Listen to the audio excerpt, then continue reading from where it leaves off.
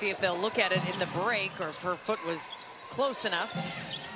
I thought it was three just looking at it for the first time. That definitely was a three from Rachel Banham. McBride. And Dorka Juhász offensive rebound. Banham, two in a row. Tonight, you can see she's wearing the, the face mask there. She had a broken nose and missed two games in late July. And then tonight, during starting lineup intros, Rachel Banham with a two-pointer. Indiana now shooting 54%. Mitchell, three-pointer, left wing, good. First, Boston has it.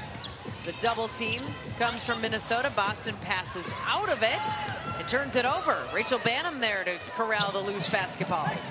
Erica Wheeler with 13 points plus eight assists. Banham, the three and one. Trying to do everything possible to get the Lynx back into this one and, and it throws up this shot.